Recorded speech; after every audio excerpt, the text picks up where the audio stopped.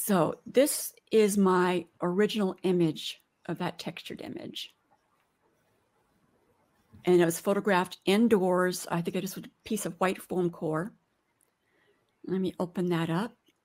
Oh, so you didn't extract that? That's just incredibly no, well lit white background. Yeah, it's just a white lit. I mean, I actually this was my raw photograph. Yep. And then I did I do kind of basic edits in Lightroom, and then I always I this is a already processed image, but um, I always use uh, the Topaz Labs filters. This one I use detail. Um, I usually use clarity. Okay, I'm going to open this up in Photoshop now. All right, let me go and open up my textures.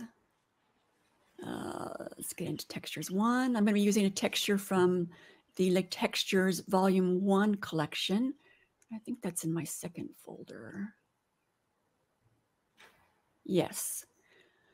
I'm going to be trying this using this texture Sentier Forestier, which is French for forest path.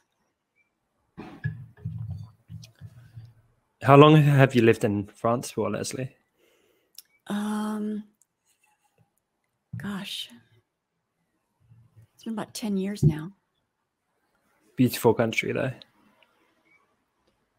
Okay, I'm going to rotate this to, to uh, vertical. So rotate 90 degrees counterclockwise. Now, one of the questions we had was how do I choose my textures?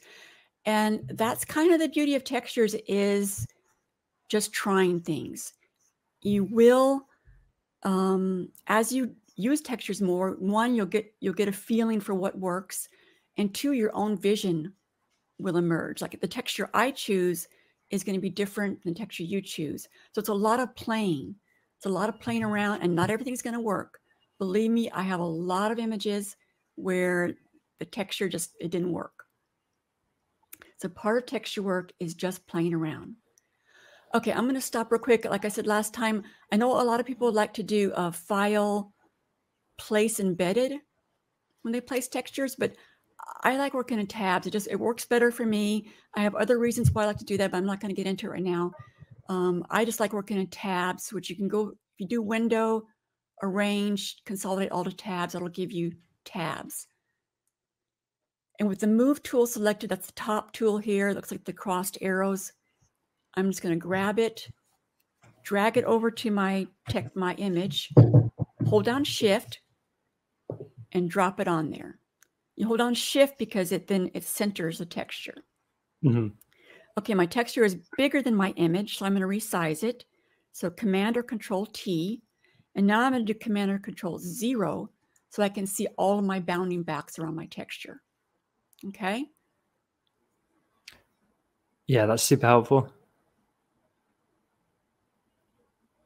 Right. And we and we talked about this um, recently, Leslie, how Photoshop uh, with a recent update, it now doesn't con- it constrains the proportions. Yeah, you know how you it, used to have to hold shift. Now I have to hold down shift here to get it to fit exactly the way I want it to. Mm-hmm. Hit enter.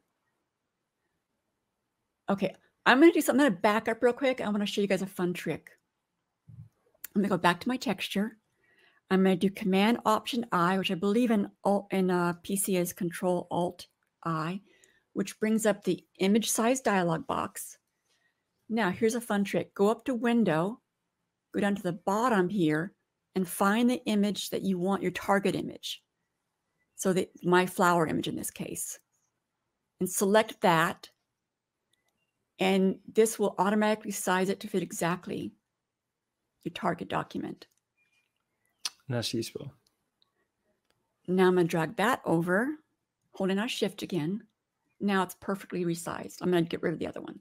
So that's another way to size your textures before you place them. If you know you want it to be exactly um, sized. Mm-hmm. I don't usually make uh, my textures into smart objects because it's not very usual that I re- resize them. All right, I'm going to switch this blend mode to multiply, and then I'm going to tell you why. So like I said before, um, texture work is all about blend modes. I'm going to zoom that in a little bit here. So that's normal. You don't see anything. Multiply, and that texture is now blending with the flower image. And why did I choose multiply?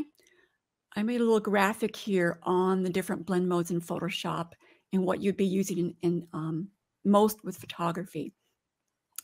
Can you see here that they're kind of grouped? Yeah, yeah. Like, so Photoshop kind of groups these blend modes into what they do. So this first group, well, the very first grouping is normal and dissolve, and you're never going to use dissolve on Photoshop on photographs. At least it's pretty. It's not the most attractive, is it? Yeah. I, I don't think I've ever used dissolve. No. in you know I don't know how many years. So the next grouping are what are the darken uh, blend modes, and the one that you're going to be using the most is multiply. Sometimes linear burn, um, but that will darken. It'll it'll basically cover up anything that's white. The next grouping, I'm going to show you some examples later on about on these two, is lighten. So um, this will be a lighten blend modes. Uh, the next grouping with the overlay soft light are the contrast saturation. And I'm going to leave it there for now and come back to that. But the ones you're going to use the most are multiply, screen, overlay, and soft light. I love it. And, and Leslie, if you've seen with uh, things like photo manipulation, the screen blend mode is used so often. So if someone wanted to use Photoshop to have flames or smoke coming into an image, you would take a photo where the background behind the fire or the smoke was black. You just apply a screen blend mode, and then it would look like the fire or the smoke or whatever effect was actually floating over your image. Yeah, screen has some really surprising um, results. I, I, have one example here you, with textures. Like what's, what's really interesting if there's a black texture with with some like scratches in it, if you apply the black texture and select screen, all you'll see is the scratches. The black will just mm-hmm. disappear. Exactly. Yeah, that's a great use.